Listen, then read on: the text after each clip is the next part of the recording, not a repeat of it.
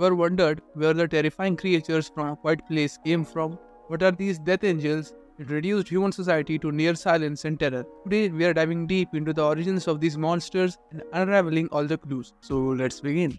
Let's start by looking at what we know about the Death Angels. The name Death Angels comes from a newspaper clipping in the first film. Although it's never used directly in the series, director John Krasinski gives us a fascinating backstory. The Death Angels are predators from a distant dark planet where the gravity is so intense and light is non-existent. Imagine a world shrouded in perpetual darkness, where organisms rely on senses beyond sight. Here the Death Angels evolved into perfect hunters, tracking any living creature by sound alone. This explains their blindness and why they developed the extraordinary hearing abilities that now make them so dangerous on Earth. Having evolved in such harsh and dark environment, the Death Angels developed a unique physical form that enhances their survival as deadly predators. These aren't your typical alien monsters, they are terrifying hunters with super sensitive hearing, nearly invisible armor, and a relentless thirst for silence. They have a frightening appearance, their skin is tough and armor-like, making it impossible to hurt them with regular weapons. They are between 6 to 9 feet tall, looking like a mix of gorillas and bats. Their heads are covered by a broken shell and opens up to show soft tissue inside. They have super sensitive ears that are protected by movable plates on their face, helping them use sound to hunt. This special body structure makes them powerful predators that are very hard to kill unless their soft inner tissue is exposed. And here's where things get interesting. With no sunlight, their alien planet likely had a unique ecosystem. Plants didn't need photosynthesis to grow, the Death Angels adapted to feed on this unusual flora. But then, probably something catastrophic happened. A massive disaster shattered their planet, sending debris and tragically these creatures across the universe until they reached Earth. And when they did, Earth wasn't ready for the kind of chaos they would bring. But what exactly makes these creatures hunt humans and animals so mercilessly?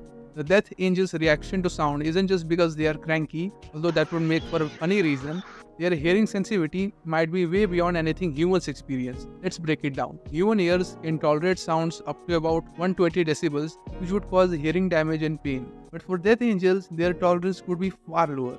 Even normal conversation, which is around 60-65 decibels, may be unbearable to them. When they hear us talking, it's like nails on a chalkboard, but a thousand times worse. So they get irritated and kill the source of the noise. Now you might be wondering, if they kill humans, why don't they eat them? The answer lies in their biology. Having evolved in a different ecosystem, their anatomy isn't compatible with Earth's organic material to their bodies and anatomy is adaptive to that sort of environment and the food which grows there. In a quiet place day 1, we also see them consuming plants brought with them from their own planet. Earth's food isn't just their cup of tea, or rather it's incompatible with their biology. So they kill purely to silence the noise. They are only suitable to eating their planet's food, not humans or animals from Earth. But this is just my speculation, but uh, has a high chance of being right and probably even with limited amount of nutrition, they can survive for days. We also have such animals on earth like tardigrades, they can survive for years without food.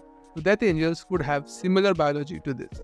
And we all know that even with limited food, they are still incredibly strong for humans. And if these creatures are so strong and impossible to fight, is there anything that can bring them down? Let's look at the two weaknesses that humans have discovered. Death angels have a few key vulnerabilities. First, they are incredibly sensitive to high frequency sounds. In A Quiet Place Part 2, Marcus takes advantage of this by using Regan's high frequency transmission. Blasted with this frequency, the Death Angel freezes, exposing its soft inner tissue, making it vulnerable to gunfire. Then Marcus shoots the Death Angel to death, and it's the only way to get past their armor like skin. And there's another weakness water. These creatures can't swim and avoid large bodies of water. Think of it as a phobia, or maybe they just can't stand the constant sound of rushing water. For humans, this was a revelation. Areas near waterfalls or rivers became sanctuaries where survivors could talk freely without drawing attention. Imagine the relief of finally speaking without fear, even if only for a moment. These terrifying features not only make the Death Angels formidable hunters, but also play a crucial role in how they affect humanity once they arrive on Earth.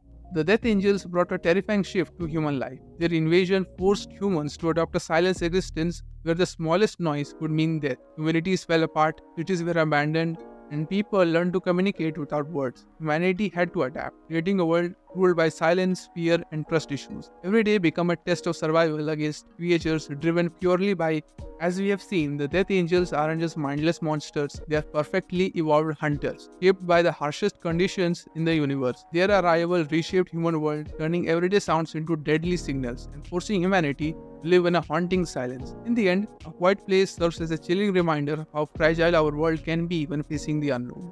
Their explanation has left me with more questions about the darker side of cinematic creations. Don't miss our explanation of Longlegs and its ending. Just click on the video flashing on the screen. Thanks for watching.